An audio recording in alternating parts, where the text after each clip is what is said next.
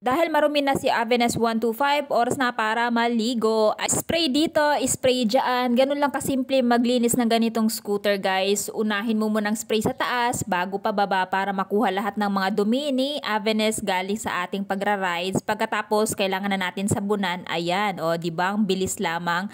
So, depende na lang sa inyo guys kung ano yung sabon na gagamitin nyo. Pero I highly recommend na shampoo na pang motor yung gamitin nyo para nang sa ganon, maprotektahan nito yung mga fairings na hindi ma-fade. Ayan. So, ayan guys, sabon dito, sabon doon. So, mini-make sure ko na lahat yan ay masasabunan para matanggal lahat ng mga dumi ni Avenes. Ayan, mga putik-putik, especially dito sa kanyang mga fairings. Ayan, meron pa nagmi-picture guys.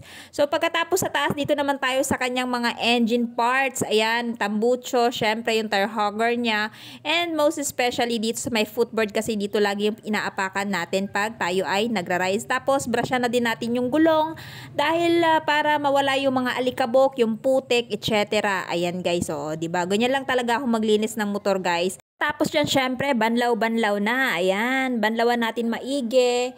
O, di ba? Sana all pinapaliguan. Oras na para patuyuin si Avanes 125. Ginamitan natin siya ng towel absorbent. So, if I were you guys, para mapadali yung pagpapatuyo ng motor ninyo, bumili kayo nito. I think ito ay nasa mga 20 pesos to 30 pesos lamang. Ayan.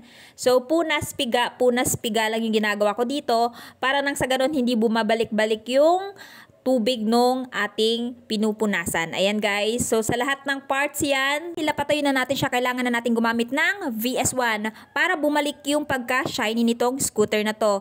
So disclaimer lamang, ito po ay hindi sponsored video ng BS1. So ito lang po talaga yung gusto kong gamitin para bumalik yung kanyang pagka-new look. So ba? Oh, ha?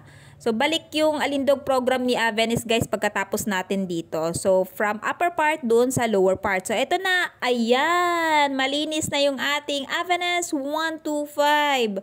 O, ba diba? Ready na ulit i-rides.